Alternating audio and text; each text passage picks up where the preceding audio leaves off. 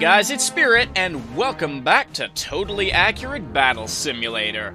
Now, in the last episode, in the last five parts of this game, I defeated the Neon level. I defeated all of these on normal, and then I defeated the Neon levels.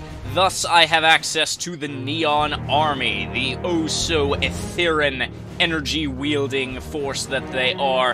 And now, in this follow-up to the, uh, follow-up to all of these levels, I'm going to be replaying them with neon stuff. So I don't know how many of these I'm going to get through, because I'd imagine I'm just going to blitz through these really quickly with neon stuff, because it is overpowered, but that's why we love it. I'm not sure if I'm going to do the neon, um, redo the neon levels with neon stuff against them, but let's get to it. Let's see. Again, I don't know how fast I'm going to be able to beat these, so I might just end up doing all of it in one episode, depending how fast I can cut these guys down, because I'm expecting this to go extremely quick. Oh, yes! Oh, yes! Just tear them apart! My gosh. By the light of heaven, Neon is overpowered. Alright. So, let's do that again. Like I said, I think I think I'm gonna be able to just ace these levels what uh, first shot. Oh my gosh. Oh my gosh, yes. I... I can't even think of anything to say in response to that. That's just absurd. Can it can it be done again? Can I can I do that again? I want to do that again.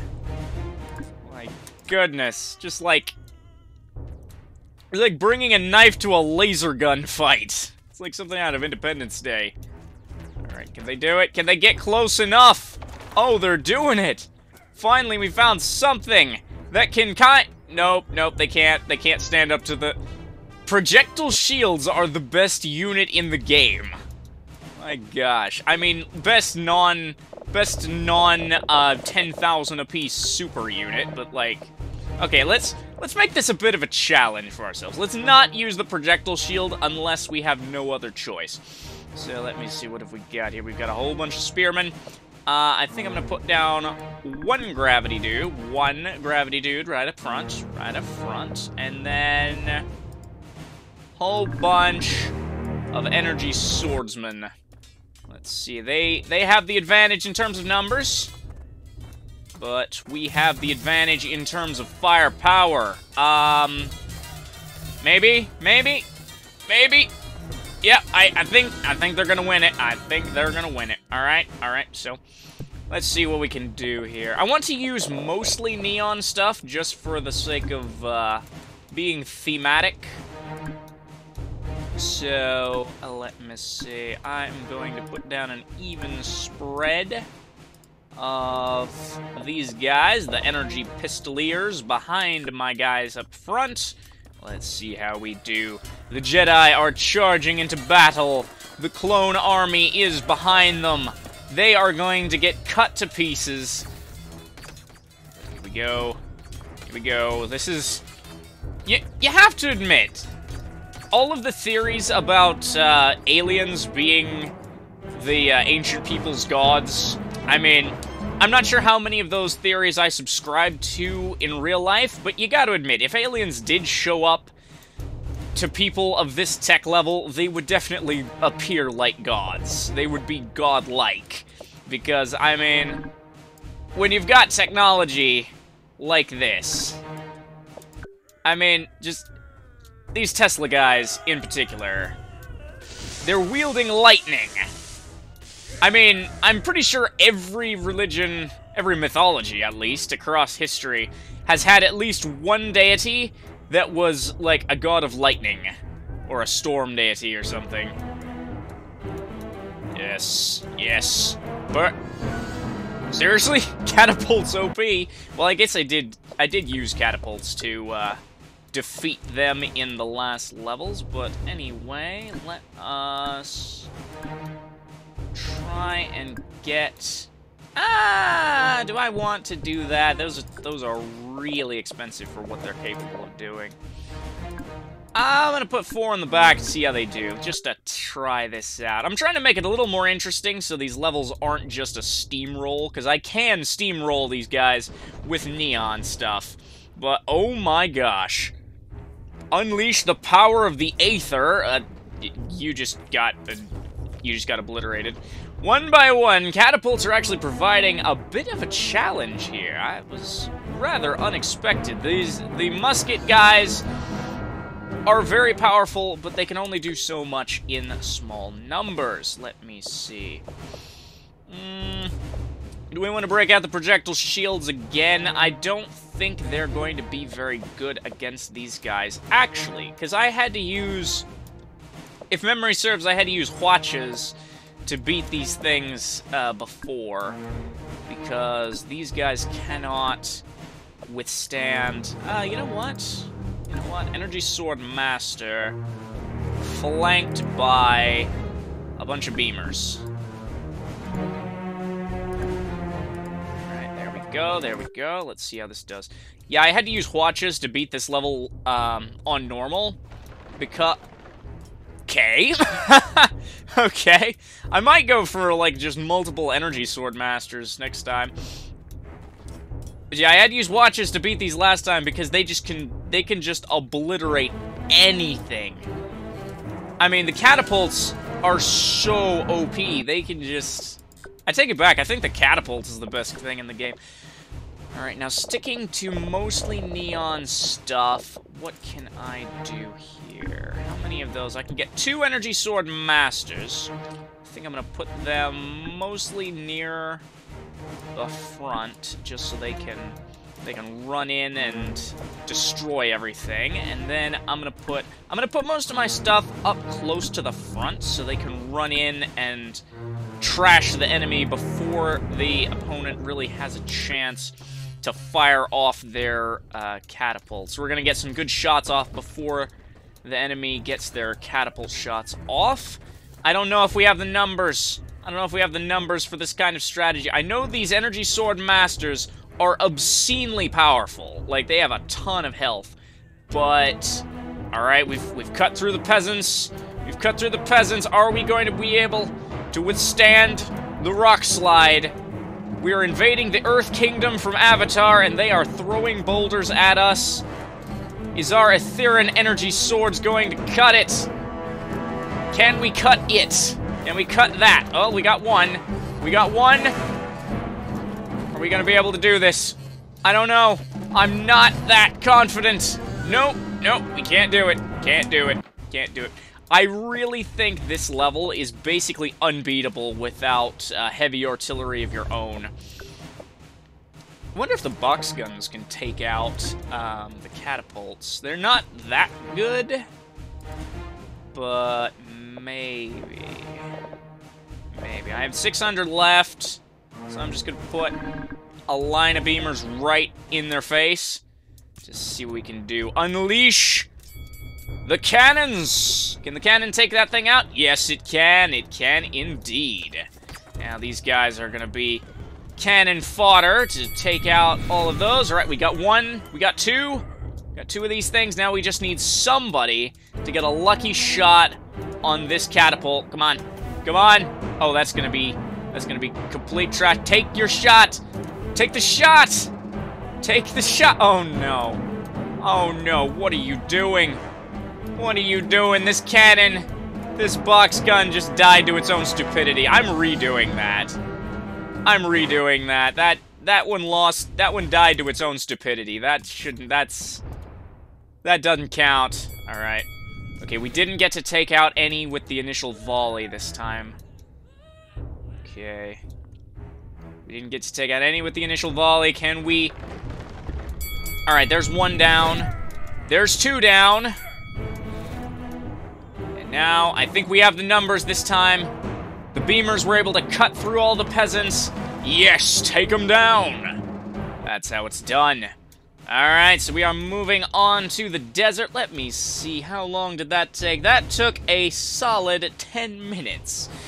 Uh, so I think I'm gonna keep going. I'm gonna go through like two of these uh, levels in each of these uh, follow-up episodes. Let me see. I have 1,500 money. I can get three projectile shields. I know I said I wasn't gonna rely on these too heavily just to make it interesting, but uh, I want to see. Oh my gosh! All of these guys airdropped in with no parachutes. That is not an effective military tactic. Oh, they're gonna they're gonna overwhelm them. Superior numbers.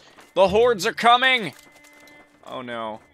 Yep, this where that is an ideal position for this beamer, for this uh, projectile shield, right behind that obelisk, because it can shoot over the top. Obviously, it didn't help it win, but that is a very ideal position.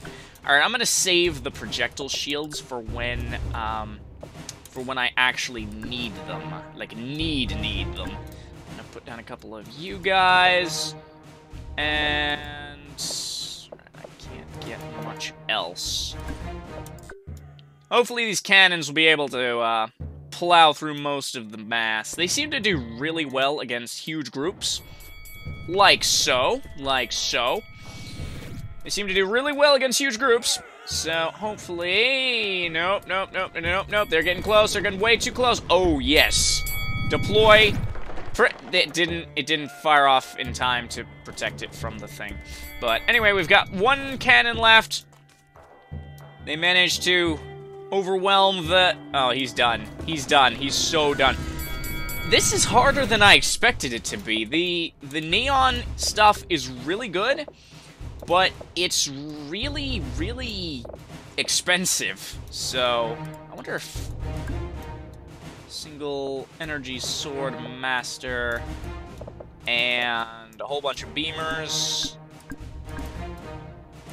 It's really expensive, so it's not actually... It's not a steamroll, because... Wait a second. There we go. Okay. It's not a steamroll, because... They... What are you doing? What are you doing? Is that is that what they taught you at the, uh, the Jedi Temple? Is that what they taught you? Alright, I don't know why I put those... Wait a second. I was trying to put down beamers, not energy swordsmen. But, uh, they're diving off the obelisks. They're actually kind of making it work. I didn't... I didn't, uh, order these units, but I'm not gonna return them because that was actually way more spectacular than I thought it was gonna be. Alright, we've got these guys. It's time to break out my favorite unit in the game, the projectile shield. Right here, and then I'm gonna put... I'm gonna be tactical about this. I'm gonna put you and two... Uh, not over there. I'm gonna put you in two energy swordsmen. And then I have 500 left. I'm gonna put down... What can I put down for 500? I can put down another projectile shield to maybe mow through them, but I don't actually know. Oh, that's why I took up all my money last time. I was putting down energy swords instead of energy pistols. But anyway, uh, I am going to down a handful of you. There is a secret on this map. If you put a unit like right here, it will dive into this pyramid and unleash one of the ten plagues of Egypt upon your opponents. So uh, that might be might be something pretty fun to test out once we... If we can't beat one of these levels in the future, that might be an ace in the hole for us. Alright, the projectile shield is doing its job. They're cutting down those guys. That was too easy. That was just a steamroll. Alright. Okay, we've got a firing squad here. I want to see if the projectile shields can take down the musket bullets. I assume they can, but I am not entirely sure if they're going to be able to... Because they have to shoot down one projectile at a time. If they all fire at once, they might be able... Oh, they're doing it! These things are invincible against any kind of uh, unit-based projectile, except for, like, siege artillery. Oh, what are you... What are you doing? Alright, we won, no thanks to this guy. Alright. So, we've got cannons, which, as said, the cannons are large artillery. They can cut through the uh, projectile shield's defenses. I think it's time. I think it's time. Now, I was gonna use mostly, um, mostly neon stuff, but for this, I am going to deploy a peasant right about here, and his path will take him, hopefully, I'm gonna reposition him right about there.